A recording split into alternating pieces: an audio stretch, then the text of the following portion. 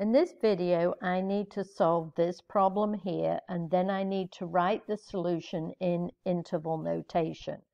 Well, what type of problem do I have here? As you can see, there's no equals. It's not an equation. It's an inequality. And what type of inequality? What's the highest degree on any of the x's? It's a 1. So this is a linear inequality.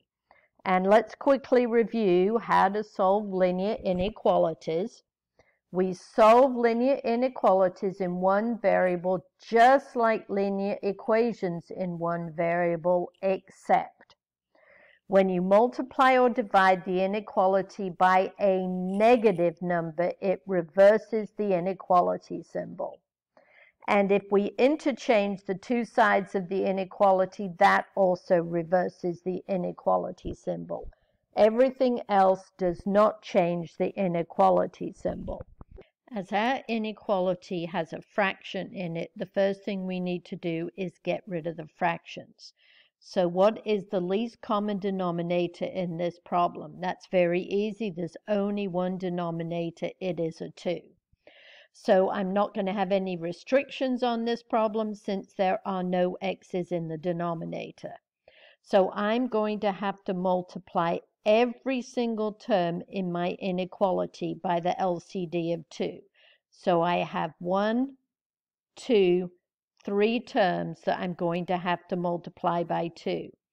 Since the first term is a fraction, I'm going to multiply it by 2 over 1.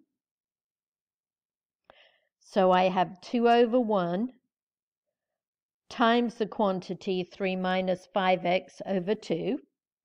Then 3, I'm also going to have to multiply by the LCD, but since 3 is not a fraction, I'm just going to multiply by 2. Is greater than 1, don't forget I also have to multiply that 1 by 2.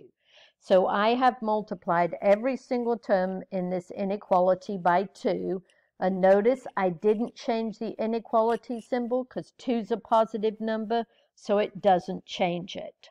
So now let's simplify this. The 2's reduce. So I'm going to get 1 times 3 minus 5x over 1. So that's just going to give me 3 minus 5x minus 3 times 2 is 6 is greater than 1 times 2 is 2. So I have like terms on this side, so I can combine them. So I have negative 5x.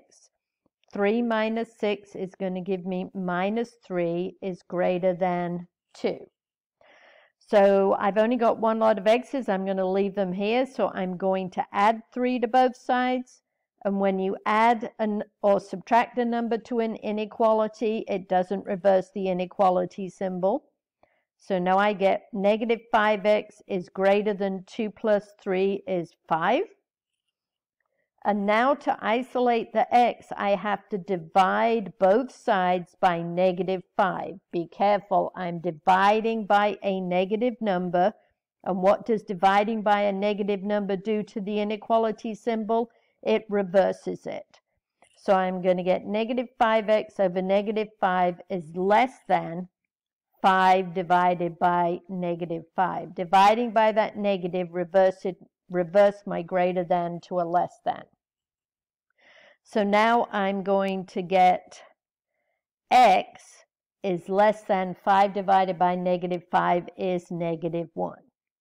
So I have solved my inequality. And the last thing we have to do is write the solution in interval notation. The easiest way to do that is to quickly sketch a graph. The only number I'm really interested in is negative 1. X is less than negative 1 means I'm going to shade to the left of negative 1. And since there's no equals here, I put a parenthesis on it. So now what does my interval notation look like? It starts down here at negative infinity and it goes up to negative 1 with a parenthesis on it because I am not including the endpoint.